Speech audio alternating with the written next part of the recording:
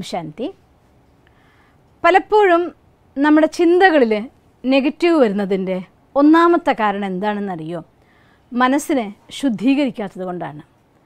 വർഷത്തിലൊരിക്കൽ നമ്മുടെ എല്ലാം വീടുകളിൽ കർക്കിടകത്തിന്റെ ആരംഭ സമയത്ത് വീടിനെ ശുദ്ധീകരിക്കുന്ന പണ്ടത്തെ നമ്മുടെ ആളുകളുടെ ഭാഷയിൽ പറഞ്ഞാൽ പൊട്ടിയെ പുറത്താക്കുക എന്ന് പറഞ്ഞുകൊണ്ടൊരു ചടങ്ങ് തന്നെ ചെയ്യാറുണ്ട്. മറ്റൊരു രീതിയിൽ പറഞ്ഞാൽ ദീപാവലി സമയത്ത് വീടുകളെല്ലാം ശുദ്ധീകരിച്ചുകൊണ്ട് പുതിയ കണക്ക് ബുക്കുകൾ പുതിയ സാധനങ്ങൾ പുതിയ വസ്ത്രങ്ങൾ എല്ലാം പുതിയതാക്കിക്കൊണ്ട് വീടും വീട് വീട്ടുകാരെയും അഥവാ വസ്ത്രങ്ങളെയൊക്കെ ശുദ്ധീകരിക്കുന്ന കണക്കുകളെ പുതിയതായി തുടങ്ങുന്ന രീതിയിൽ ദീപാവലി സമയത്ത് നോർത്ത് ഇന്ത്യയിൽ നോക്കി എല്ലാ വീടുകളിലും അത്തരത്തിൽ നടത്താറുണ്ട്.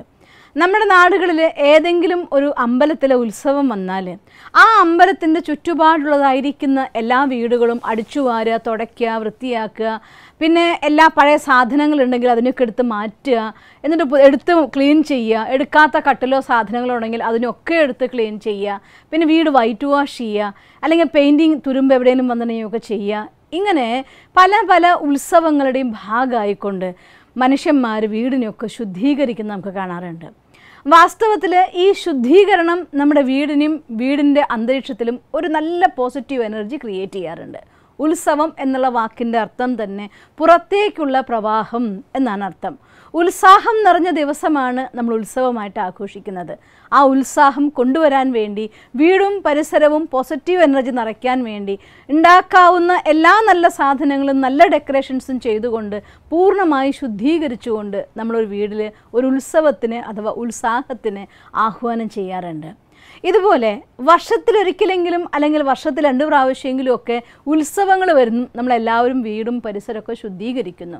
പക്ഷേ നമ്മുടെ മനസ്സിനെ ശുദ്ധീകരിക്കാൻ എപ്പോഴെങ്കിലും ഈ ഉത്സാഹത്തിന് തിരിച്ചു കൊണ്ടുവരാൻ വേണ്ടി ശ്രമിക്കാറുണ്ടോ? ഒരു വണ്ടർഫുൾ ആയിട്ടുള്ള കാര്യമാണ്. വർഷങ്ങൾ കഴിഞ്ഞു പോയിരിക്കുന്നു. പത്ത് വർഷം മുന്നത്തെ പതിനഞ്ച് വർഷം മുന്നത്തെ ഇരുപത് വർഷം മുന്നത്തെ കുട്ടിക്കാലത്തെ ഇങ്ങനെ എത്രയോ വർഷങ്ങളായിട്ടുള്ള നമ്മുടെ പഴയ സ്മൃതികളായിരിക്കുന്ന ആ എല്ലാ നെഗറ്റീവ്സിനെയും അഴുക്കുകളെയും തുരുമ്പുകളെയും അത് മനസ്സിന്റെ ഏതോ കോർണറിൽ അവിടെ ഇവിടെയൊക്കെ ആയിട്ട് എടുത്തു വെച്ചിരിക്കുകയാണ് സൂക്ഷിച്ചു വെച്ചിരിക്കുകയാണ്.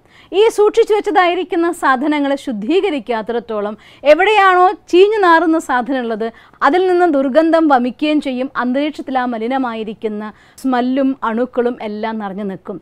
അതുപോലെ നമ്മുടെ ഉള്ളിന്റെ ഉള്ളിലും നമ്മൾ അറിയാതെ ഏത് രീതിയിലാണ് അത് ചീഞ്ഞു നാറി എന്നതൊരു ഘടകമല്ല. ചീഞ്ഞു നാറുന്നുണ്ടെങ്കിൽ അതെല്ലാം കേടായത് തന്നെയാണ്. ഒരാൾ മുറിച്ചു വെച്ച പച്ചക്കറി ചീഞ്ഞതാണോ മുഴുവൻ പച്ചക്കറിഞ്ഞ് ചീഞ്ഞതാണോ? ആരെങ്കിലും അതിനെ കേടാക്കി ഇട്ടത് കൊണ്ട് ചീഞ്ഞതാണോ? അത് യാതൊരു രീതിയിലും അത് ബാധിക്കുന്ന ഘടകമല്ല. ചീഞ്ഞു നാറുന്ന എല്ലാ വെജിറ്റബിൾസും എന്ത് സാധനവും അത് എന്ത് കാരണം കൊണ്ട് അഴുകിയാലും അഴുകിയ എല്ലാത്തിൽ നിന്നും ഒരുപോലുള്ളതായിരിക്കുന്ന ദുർഗന്ധം വമിച്ചുകൊണ്ടിരിക്കും. അത് നമുക്ക് രോഗമുണ്ടാക്കും അസ്വസ്ഥതയും ഉണ്ടാക്കിക്കൊണ്ടിരിക്കും. അതുപോലെ തന്നെ നമ്മുടെ മനസ്സിന്റെ ഉള്ളിൽ എന്ത് കാരണങ്ങൾ കൊണ്ട് മറ്റൊരാൾ എന്നെ വേദനിപ്പിച്ചിട്ടാണോ മറ്റൊരാൾ എനിക്ക് മുറിവേൽപ്പിച്ചിട്ടാണോ അതോ എന്റെ കയ്യിൽ നിന്ന് തന്നെ സംഭവിച്ചതായിട്ടുള്ള അബദ്ധം കൊണ്ടാണോ?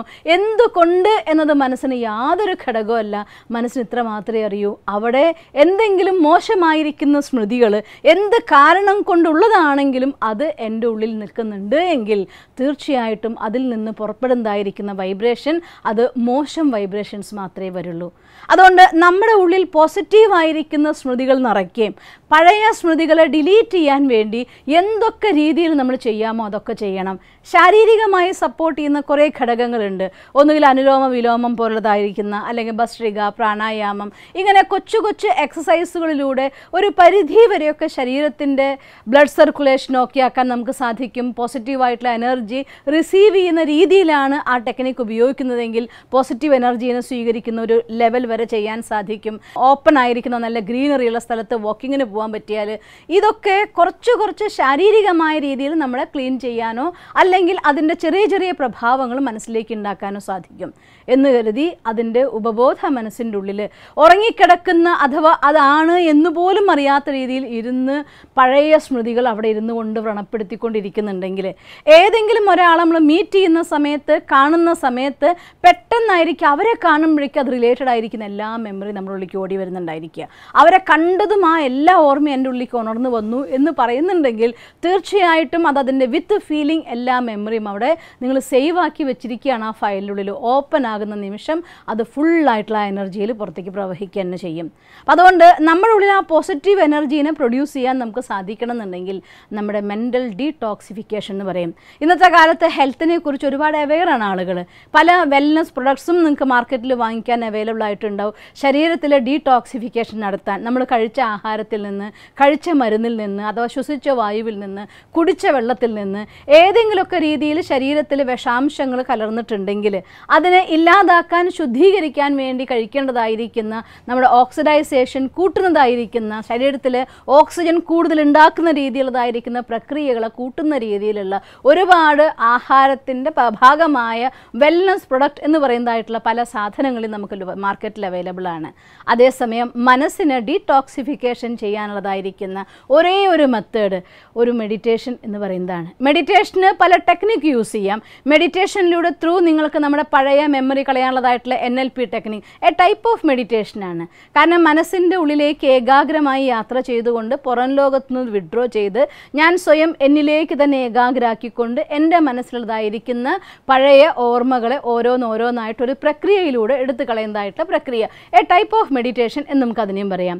വേറൊന്ന് നമ്മൾ സിമ്പിളായിട്ടുള്ള രീതിയിൽ പോസിറ്റീവ് എഫോർമേഷൻസിലൂടെ മനസ്സിനുള്ളിലേക്ക് പോസിറ്റീവ് എനർജി നിറച്ച് നിറച്ച് നിറച്ച് ഫുൾ പോസിറ്റീവായിട്ടുള്ള എനർജി കൊണ്ട് നിറയുന്ന ഒരു നിമിഷം വരുമ്പോൾ എല്ലാ നെഗറ്റീവ് മെമ്മറീസും ഓട്ടോമാറ്റിക്കലി ഡിലീറ്റ് ആയി പോകും പഴയ ഓർമ്മകൾ ഓരോന്നോരോന്നായി ഒഴിവാക്കിക്കൊണ്ടിരിക്കാൻ നമുക്ക് സാധിക്കും.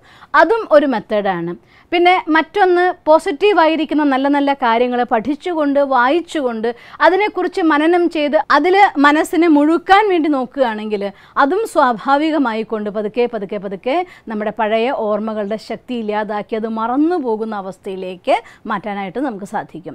അതുമല്ല എന്നുണ്ടെങ്കിൽ നിങ്ങൾക്ക് അത്ര എന്തു ചെയ്തിട്ടും മറ്റാത്ത മറ്റാത്ത വിഷമങ്ങൾ എന്തെങ്കിലും ഉണ്ടെങ്കിൽ ഈശ്വരന് ഇത് കത്ത് എഴുതി കൊടുത്തുകൊണ്ട് മനസ്സിലെ എല്ലാ ഭാരങ്ങളും ഭഗവാനോട് തുറന്ന് പറഞ്ഞ് ഹൃദയത്തെ ഭാരമില്ലാതാക്കി മാറ്റിക്കൊണ്ട് നമുക്ക് നമ്മുടെ മനസ്സിനെ ക്ലീൻ ചെയ്യാൻ സാധിക്കും. ഏതെങ്കിലും ഒരു രീതിയിലതായിരിക്കുന്ന ശുദ്ധീകരണ പ്രക്രിയ നമ്മുടെ മനസ്സിൽ നടത്തിയിട്ടില്ല എങ്കിൽ അതെന്ത് കാരണം കൊണ്ട് എന്നതല്ല എന്ത് കാരണം കൊണ്ടും നമ്മളുള്ളതായിരിക്കുന്ന ആ നെഗറ്റീവായിരിക്കുന്ന സ്മൃതികൾ വേണ്ടാത്തതായിരിക്കുന്ന ഓർമ്മകൾ പതുക്കെ പതുക്കെ പതുക്കെ സ്മൃതിയിൽ നിന്ന് സ്ഥിതി എന്നാണ് പറയുന്നത്.